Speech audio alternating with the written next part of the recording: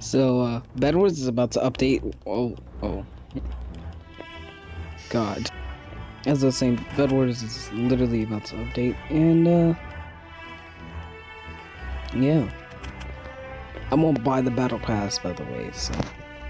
You just rejoin.